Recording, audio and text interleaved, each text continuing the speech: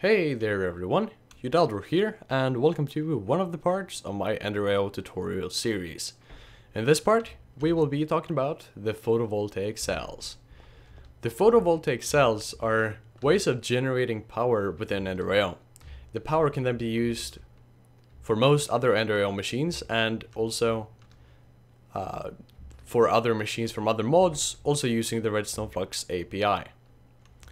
Now, the recipe for the photovoltaic cell, you need two energetic alloy ingots, two electrical steel, two silicon, two fused quartz, and a daylight sensor.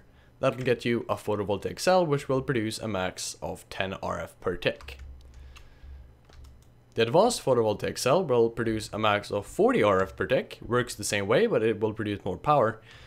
And this requires two pulsating iron, two vibrant crystals, two vibrant alloy ingots, two unlighted fused quartz, and a daylight sensor. Now you can find more information about these special materials on the wiki. Now what these will do when you put them down is they will produce power when exposed to sunlight. If you put a block on top of it, or basically if you put it underground, it won't generate any power at all.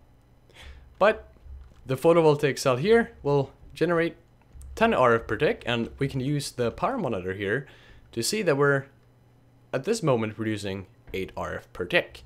Now if we set the time to midday you can see that the power generation will quickly increase to 10 RF per tick. Very cool. And we're filling this capacitor bank up. Looking at the advanced photovoltaic cell, we're producing 40 RF per tick. Now, when it's midday, you'll generate the max power. If we set it to dawn, we'll generate less power as less sunlight is actually hitting the photovoltaic cell, which is a very, very cool feature.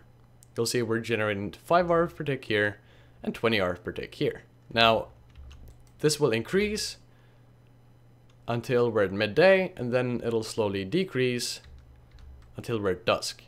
And you won't generate any power during the night. So that's what the photovoltaic cells does. I hope you found the video helpful. If you did, please rate it and uh, leave some positive feedback if you thought I could do something different. Also, please leave some feedback. I would really appreciate it. And until the next time, take care.